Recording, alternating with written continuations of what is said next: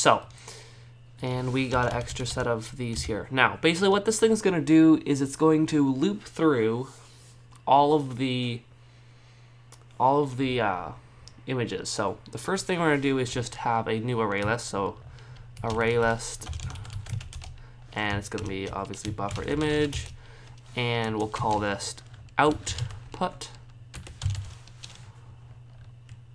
sheet, or yeah, output, yeah, we'll just say output. And we'll set this equal to a new um, array list, like so. So that's basically just to be the output image, uh, output buffered images once we're done this process. So the first thing we're to do is we're to need the things we need to pass into the crop image, which is the X and Y position, right? So in this case, we're going to have the X column, we'll just say column, int column, and int row. All right, and then also we need, yeah, int column, int row. So, and we also need um, sub width and sub height.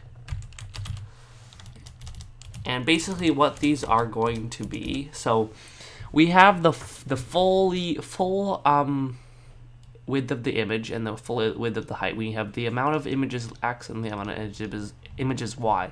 So to figure out how many images we have, how big one image is, and this not this will work for images that can they might not be square, they might be rectangular. The the uh, column oh subimages x. Yeah, I'm just might gonna um drop this in here. Columns.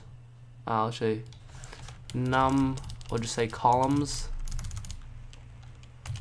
and rows. That makes more sense, I think. Rows. So how many columns and how many rows there are. So we don't actually need to uh, assign these. Oh, and yeah, we'll say um, current. Current. That's what we need. Current column, current row. And we'll capitalize these for better column, current column, current row. All right. Now, the current column and current row are going to be set to zero off the bat, and the sub image sub image width is I just put sub width. Um, is going to be equal to the sheet width divided by no no sorry the yeah sheet width divided by the number of rows there are. And then this this is just gonna be sheet height divided by columns. Alright and I did not put equals there that's why that's erroring. Alright so basically since our image oh and that's a typo so we'll fix that. Um, height there we are columns spelling columns rename columns Oh, just single LIC. Okay, let's fix that up. Columns. There we are. All right, cool. So, if the image was 6 to 128, which it is, um, we're going to divide that by how many rows there are. And then in this case, there is two rows. Yes, there's two rows, which is side to side, and columns are up and down. So basically, these are how many, and oh yeah, the other thing we don't want is a another integer. I forgot, and this can go at the end. It is going to be a total sub. Total sub images.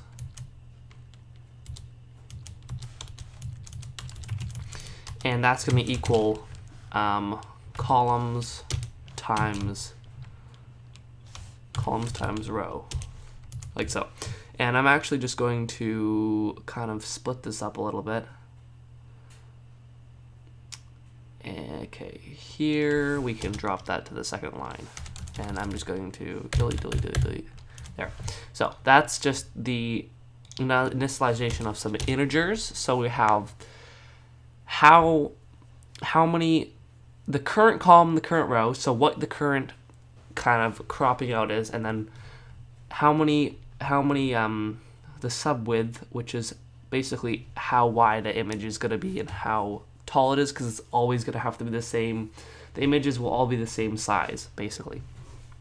So now we have a while loop, a while loop, and I'm going to do do while loop because you're always going to, oops, um, uh, do while, while, and the while is going to be while um, total images, and actually I forgot one last variable, and this is going to be here, we'll go int i.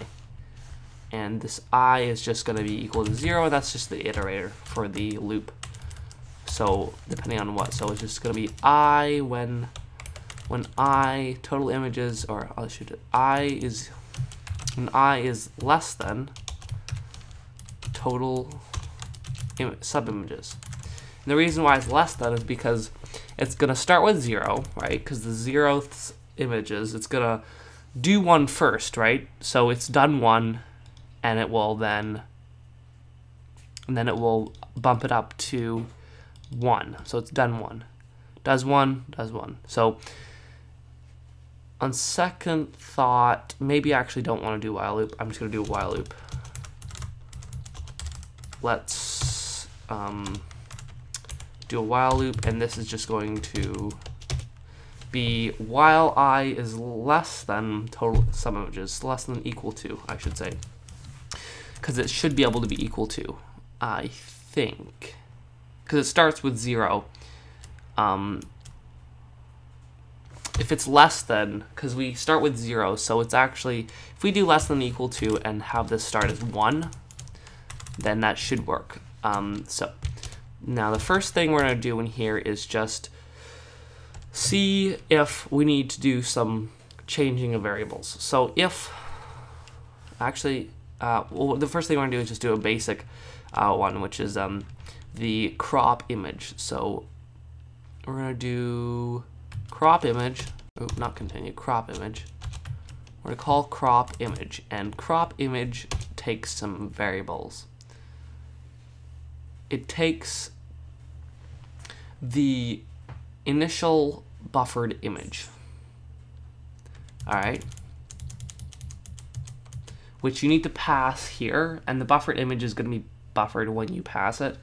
So the buffered image is going to be ah uh, image, not I, but image, and then the x and y position, right, of this is dependent on the x position is basically being times by the the the um the sub image width and the sub image height. So the the width of the thing will be basically sub image width, which is sub width, times times the value of the current row. By current and that those are capital. Let's get rid of that capital real quick because we don't want that. Okay. Current. Current row. Now how this works is um, if the current row is zero, which is what, what it starts out as, the current row is zero. So it goes through, it would time sub image by zero, uh, sub image width by zero. So that would be um, 64 times zero would equal zero. So that would put it at zero. And you want to do the same thing, but for y, but you want to do uh, sub height times uh, column, uh, current column and then width and height are always going to be width and height, which is sheet width and sh uh, not sheet width, sorry, uh, sub yes, uh, sub width and sub height. Um, and because we figured that out already, and they're always going to be the same.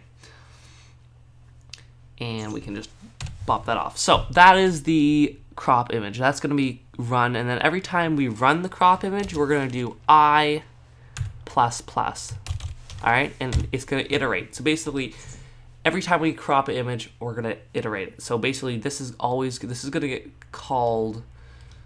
Um, in this case, four times it should because um, it will start at zero. It will start at one, and it will do it once. Oh no, this wants to be zero. I'm sorry. Um, so we'll do it once, and then we'll add it to be 1, right? It'll do that, so it'll be 3, go do it 3 times, it'll become 4. Do it a fourth time, actually, eh, we, we just wants, it wants to check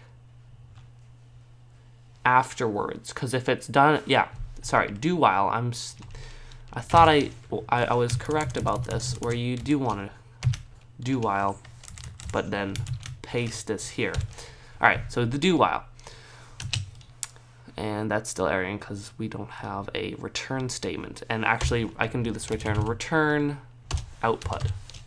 It's going to return the output at the end because it will have added it to the, and actually, yes, this is what you need to do. We need to do array list, uh, no, output dot add, and it's going to add this right here this whole thing. There we are. And that is what actually you need to do there. So it's going to do that, output. Now, this won't work right now because, first of all, well, we haven't done some up, up here stuff, but the reason why this won't work is because it's just going to keep going all along on column, this case, column 0, or row 0 and it's also going to do it on row. So it's going to keep cropping out the exact same image, right? because it's always going to be 0 and 1, right? The only thing that's going to change is this, which it will crop out four images, because it will start at 0, it hasn't done it, it will do it once, it will add it to be once, check it, do it, check it. So when it's 4, okay, it's still good because it's equal to 4, it's done it 4 times, and then it'll come back, and, oh, we'll do a fifth time.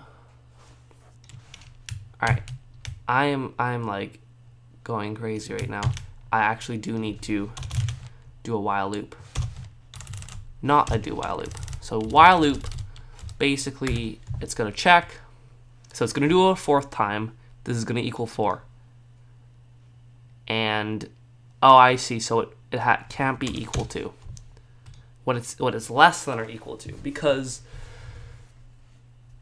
yeah well it doesn't actually matter whether it's a do or a while because it can check before or after because it'll come around and it'll be like nope it's already done it four times and because it's and if it's okay so it's three good fourth. It's done it four times and now it can't let it do it again. So it has to be if it's equal then it knows that it's going to do it again. All right so that's good. Now what we have to do is we have to do two checkers a if statement let's see um, if if w if uh, sorry current current row is less than current row is less than rows right because once it gets to the last row right because it's gonna uh, if it e actually yeah no if it equals that or equals current row. So it's to get it all the way up to 2 in this case, but if it was a larger by 16 by 16, it would be a 4.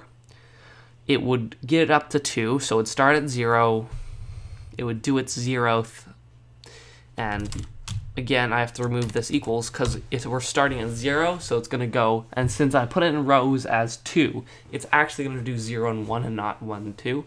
So it's going to start at 0, it's going to do it, and then it's going to it's going to do current, uh, not continue, current row plus plus. So it's going to add 1 to current row. So we'll do it once with 0. It will add it to make it 1, which means it's going to go and move the, do the second one. It's going to see that it's less than 2. So it's going to add it again to make it 2. And then since it's 2, it actually needs to go back and to do 1. So we're to do another if statement to see if current row is equal to rows, then we need to put current row back to 0, current row back equals 0, and we also need to iterate current column, current column plus plus, like so. So basically it's going to, and I guess if the columns got to the end, it would want to do a if statement then. If current column is equal to columns.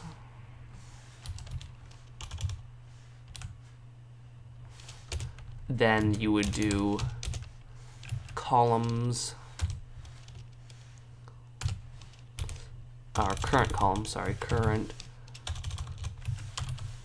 columns equals to zero but that would never happen to my knowledge because once it gets to the second one it would be done. So to my knowledge we don't need this.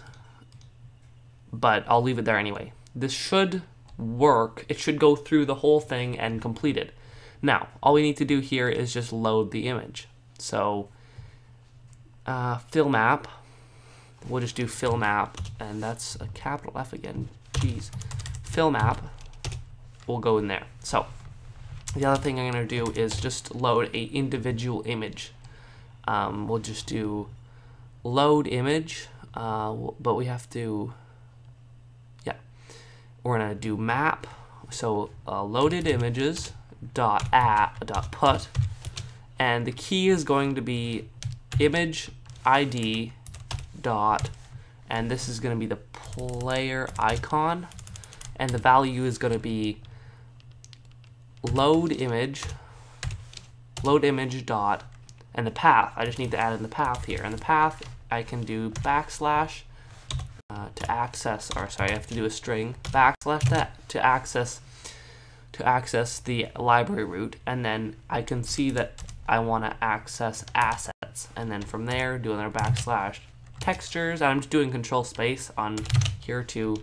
Then I want to do player icon, and it shows you it's a 64 by 64 icon. I made it that so that it's consistent, and now it's erroring wrong first argument type Oh, image loader. Duh. Image ID I want, not image loader. There we are. Now, I'm going to do this a whole lot of times in fill map. And actually, that should probably be, that should pro probably be not in here, but actually in the fill map at the very top. Um, I'll just put comment to say fill in, fill, I'll just say add images. And then in here, I'm just gonna make, say, add, add uh, sheet images sub add sheet sub images and this can actually go to the this can go to the top Control X, paste that at the top. All right, so so far we actually only have one regular image in here. We're just gonna do loaded images dot put, which is basically just putting one in. It's the same as add for array list. Image image ID dot, and then here we'll do player play button, which is the first one.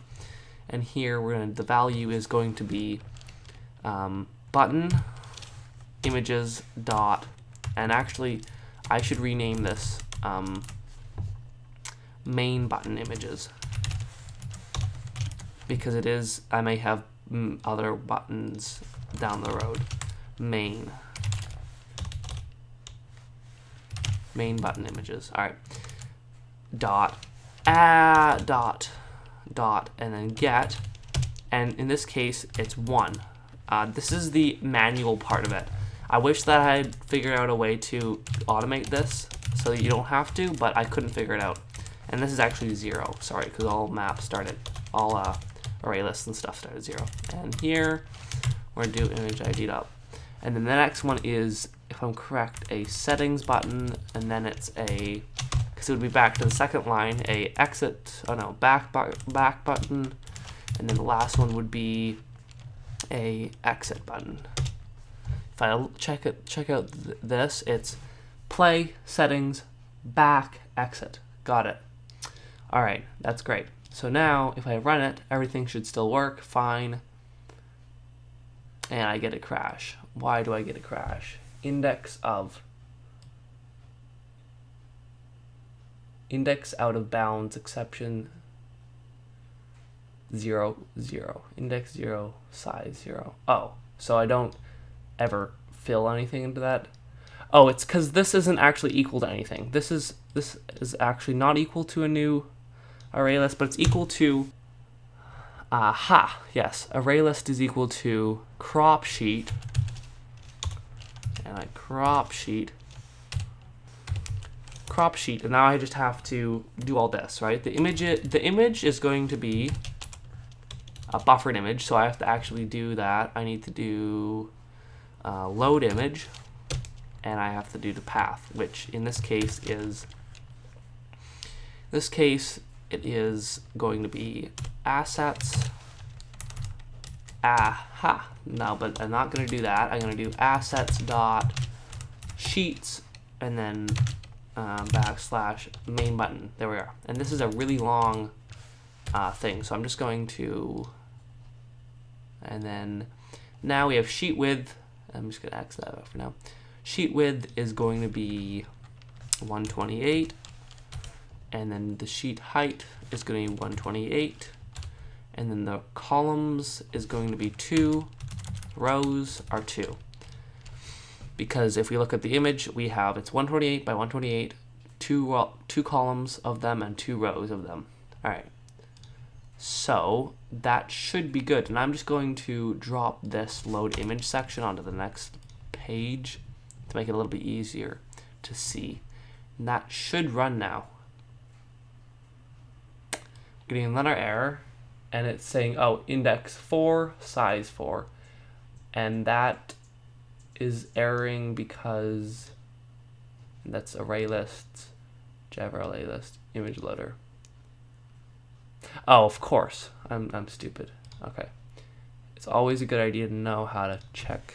And this is going to be 3, 2, there we are. That's what I made a mistake on and now our Windows pops up and that's not erroring. Now all we have to do is go back to our graphics handler. I don't need this list import anymore. Graphics handler, and actually, on second thought, no, no, that's good. Sorry, I don't know what I'm thinking. No, I guess I, I guess I don't need this extra array list, but um, I guess I could just use the output straight from, but that would be a lot of, yeah, no, that would be a lot of extra work. So here I have where I'm gonna draw my images and my render. Now, for now I'm just drawing it right here, but later I'm gonna probably draw it in a specific area. But for now we're just gonna do a test here. So we're gonna do image loader, loader, dot load images, I think. Dot load images. No, sorry, not image loader dot load images. Image loader dot loaded loaded images dot get. And then I'm gonna get the I'm gonna get the uh, the image ID dot player icon right? So and we can get rid of if we get rid of this and actually I'm gonna leave that. So now this is gonna get copy pasted into graphics graphics or G, in this case G dot draw image. And here we're going to put the images there. That's the image. Uh, the X and Y are just going to be random so I'll do 500 and I'll do 500 and then observer I'll put null because all that is is just some more advanced thing that we don't need to worry about. And then I'll also do g dot draw gonna also do g dot draw image again and I'm gonna do the same thing but in this case I'm gonna do get rid of that. I'm gonna do id dot play button. X and Y will just do 500 and like Y can be a thousand. Observer null. Alright, so once we put these two in, now they should draw onto the screen.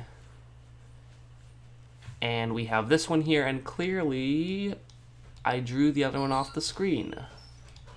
That's probably too far for the y-axis, yes. I'm actually going to put this one at 500. I'm actually going to put um 500 on the y-axis and 1000 on this one because that's actually what I wanted uh, thought. I, I just incorrect math here. And we get the player and we get the that thing. So that's great. We can even do another one. And I'm gonna paste. I guess I can do all four of them. A back button. Let's run that now. Let's see what we get. And that should be all of the icons we have here. Play, settings, exit, back, and then player. Awesome. We have got our image loading working, and that was a bit of a longer episode, and hope you guys all enjoyed this. Um, and I hope you found this uh, useful on how to load images and stuff like that. Uh, but in the next episode, we're going to be making a system of putting a lot of a lot of data that to, to load. So it'd be the x and y position, and the um, the data type, like what the image type we want, and then we're going to have that stored in like lists. And basically, we're going to have, and then we're going to make a map loader class that's going to load a, not this map that we're using right now, not this load images map, but like a class we'll make. And it's going to load out. So when we have the main, main menu up, it will just be like, it will load the main menu and we don't have to worry about it. So yeah. Anyway, hope you guys all enjoyed this uh, episode of Java game tutorial, my Java game tutorial series, and uh, I'll see you guys all later.